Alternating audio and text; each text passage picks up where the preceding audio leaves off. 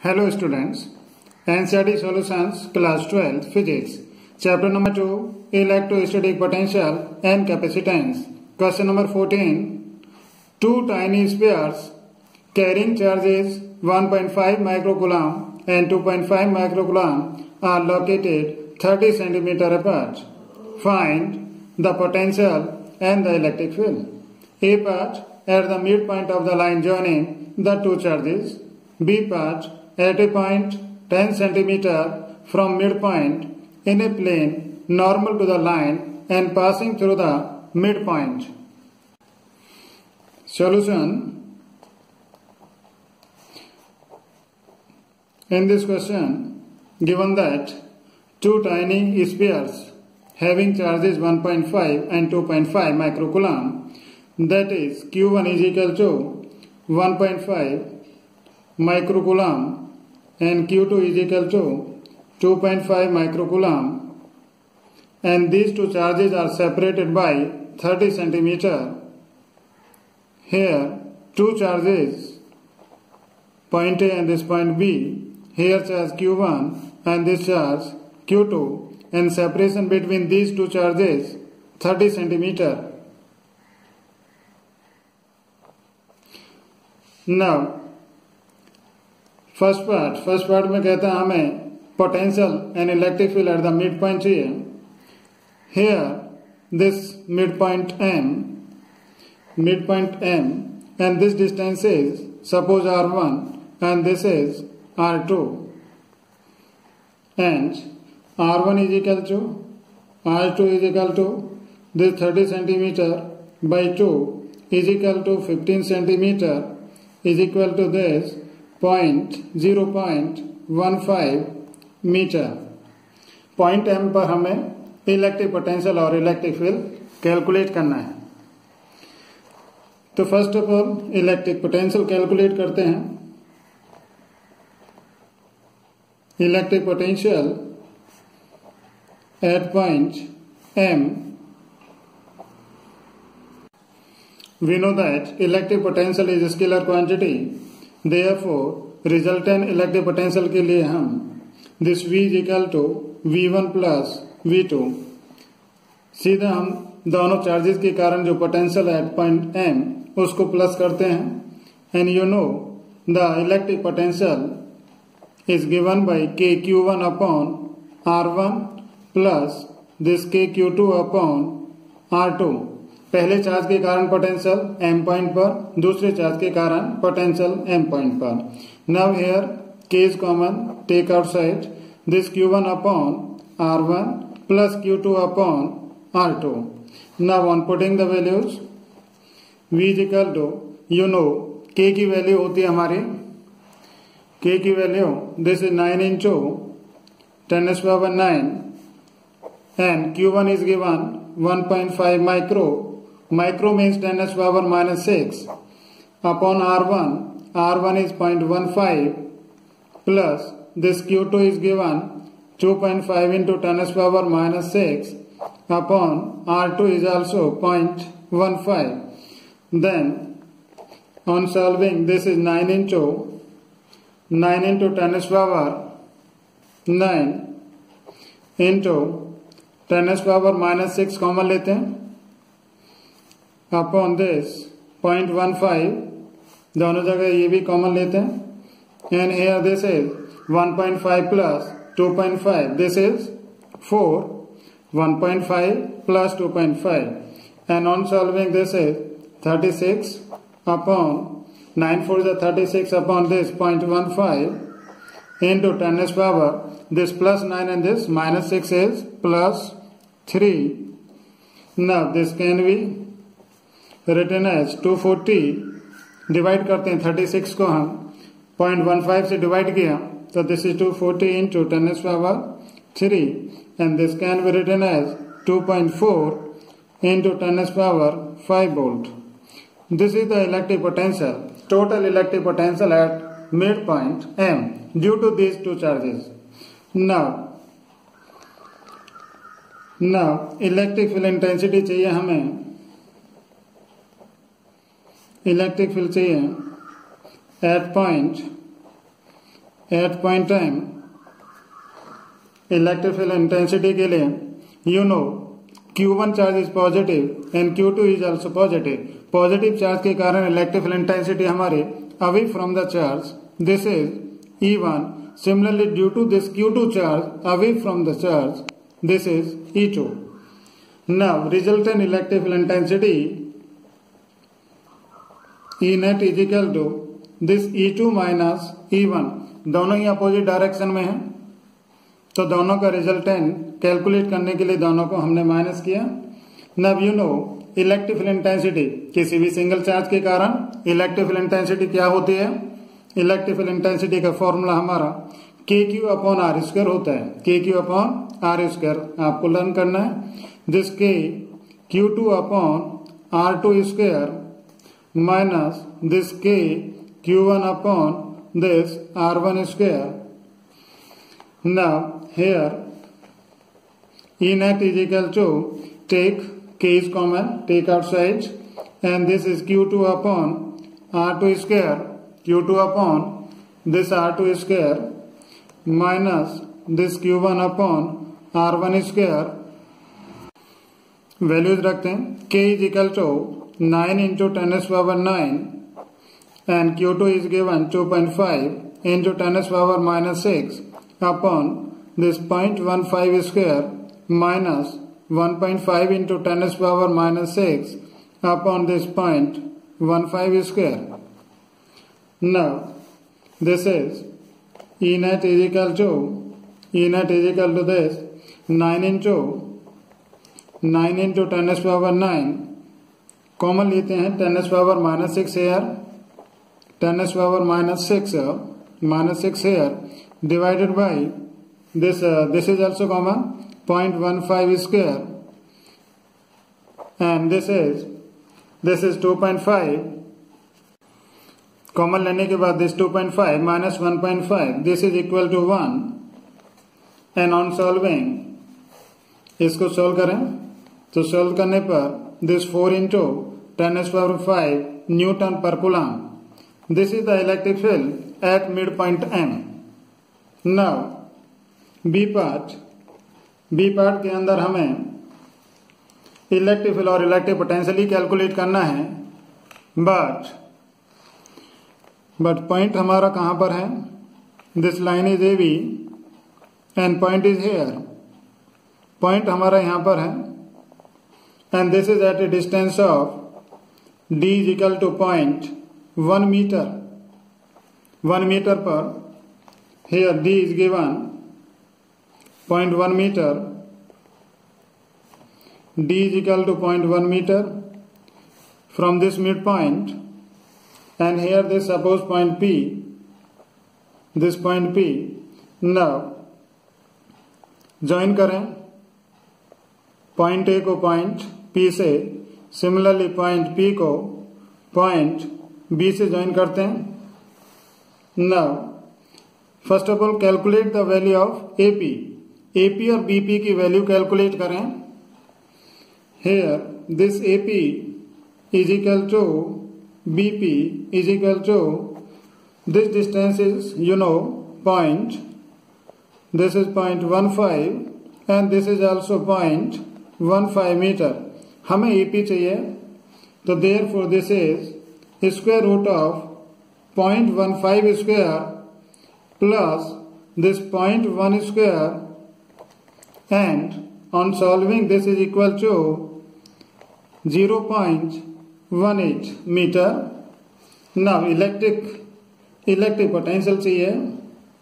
Electric potential at point P electric potential again is scalar quantity तो electric potential due to this charge Q1 plus electric potential due to the charge q2 and this is v is equal to v is equal to this uh, k q1 upon r1 plus k q2 upon r2 now take common this k is common take outside and q1 upon this r1 plus Q two upon R two now on putting the values इसमें values रखते हैं तो this is V is equal to K की value हमारी this K is equal to nine into this nine into how much this is here R one now this is R one right and this is R two this A P and B P ना this is nine into ten s power nine into ten s power nine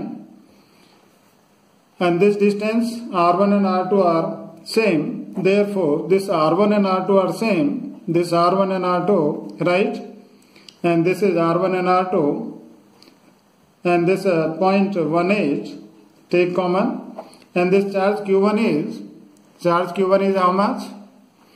Charge q1 is 1.5 into 10 s power minus 6 plus this uh, 2.5 2.5 into 10 s power minus 6 now this is equal to 9 into 10 s power 9 common लेते हैं ten S power minus six and this is upon 0.18 and this uh, 1.5 plus 2.5 is equal to this is 4 and on solving this V is equal to 2 into 10 s power 5 volt. So this is the potential At point P, electric potential at point P due to this charge Q1 and Q2. ये potential आता है अब हमें calculate करना है electric field at point. Now electric field electric field calculate करना है at point at point P diagram देखते हैं this point A this is B and here this point P and this distance is point one metre and This distance is 0.18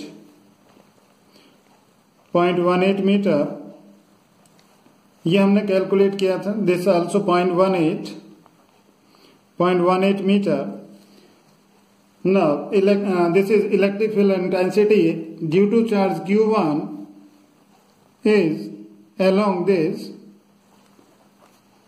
charge q1 के कारण point p पर electric field intensity positive charge के कारण away from the charge similarly Q2 charge के कारण electric field intensity away from the charge here this is E2 and let here this angle theta and this is also theta now E1 is equal to you know K Q1 upon distance square electric field intensity due to single charge. This is kq1 upon r1 square.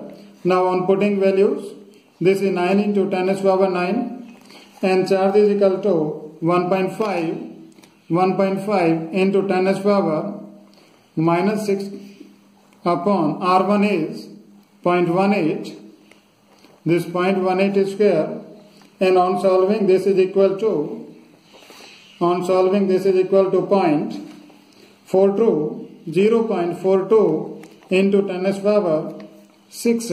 This is 10 s power 6. And this is the electrical intensity, electrical intensity at point P due to charge Q1. Similarly, similarly electrical intensity due to charge Q2, this E2 is equal to K Q2 upon this this is R2 square electric intensity due to this charge, right? On putting values, this is 9 into 10 s power 9 and charge is 2.5 into 10 s power minus 6 upon this distance is 0.18 square, right? Now on solving, this is equal to 0.69, 0.69 into 10 s power 10 s power 6 right ना E1 और E2 की value हमने calculate की अब दोनों का हमें total करना है।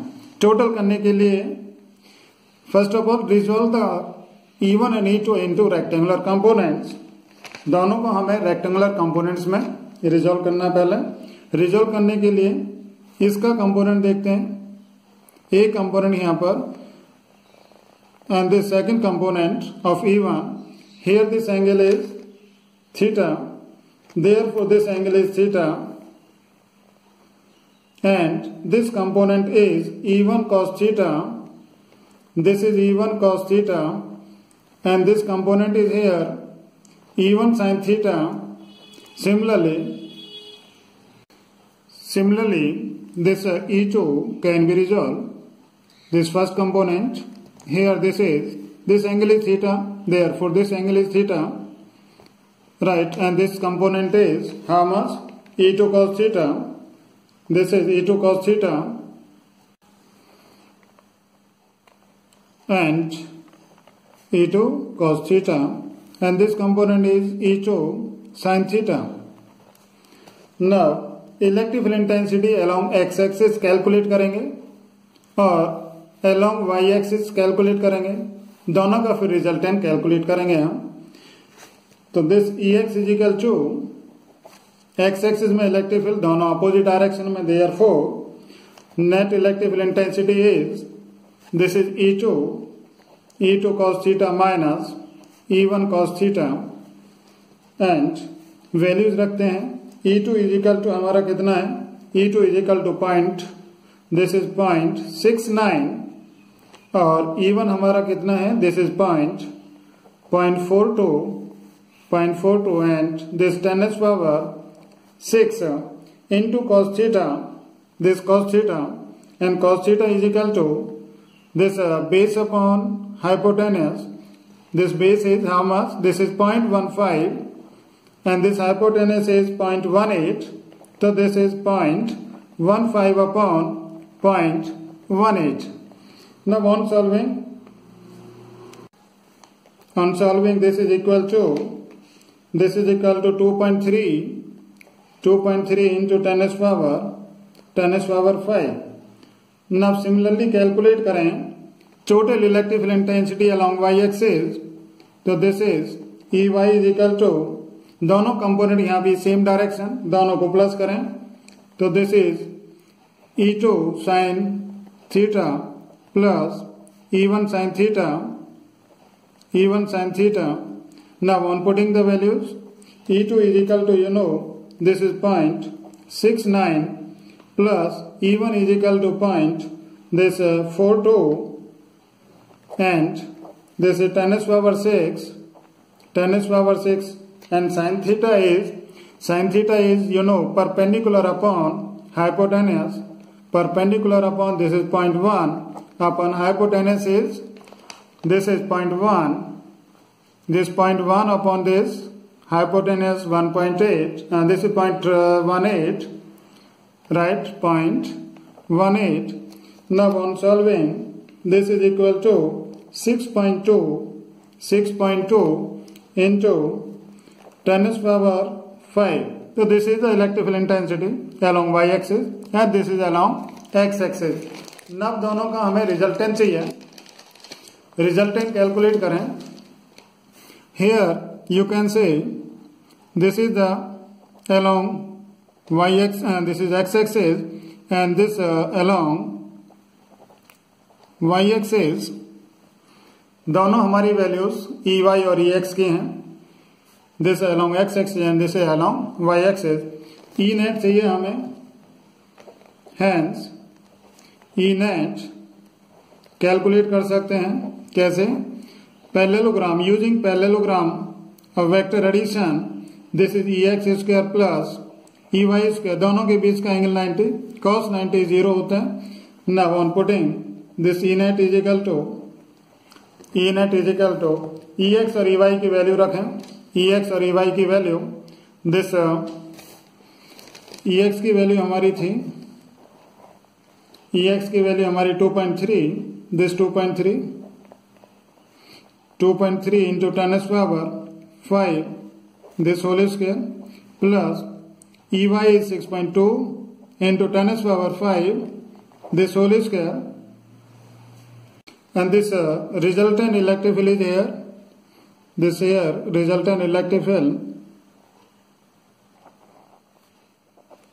this is E net Now on solving, this E net is equal to 10 s power 5 is take outside and this is 2.3 का स्क्वायर करें तो दिस इज 5.29 6.2 का स्क्वायर करना है हमें तो this is 38.44 and on solving this is ten square five square root of this 43.73 और this can be written as इसको सॉल्व करना है इसका स्क्वायर रूट लेते हैं हम। तो square root is this is 10 square 5 into this 6.6 और this can be written as 6.6 into 10 raised power six 6.6 into 10 raised power 5 newton per coulomb. This is result and electrical intensity at point P now direction चाहिए। Direction means angle चाहिए हमें। तो ये angle हम calculate करते हैं। Suppose ये भी एंगल कैलकुलेट कर सकते हैं। Then this tan alpha is equal to tan alpha you know perpendicular upon base तो this perpendicular upon this base this perpendicular here and this base तो this is E Y upon E X दोनों की value रखते हैं E Y is six point two into ten s power five and this is E X is two point three into ten s power five this cancel, and on dividing 2.69 or this alpha is equal to tan inverse tan inverse, this is 2.2.69 and this is, on solving, this is 69.6 degree. तो ये हमारा angle आया direction of electrical intensity at point P and this is the magnitude 6.6 into 10 s power 5 newton per coulomb तो this is the answer of this question आशा करता हूँ कि आपको समझ में आए थैंक यू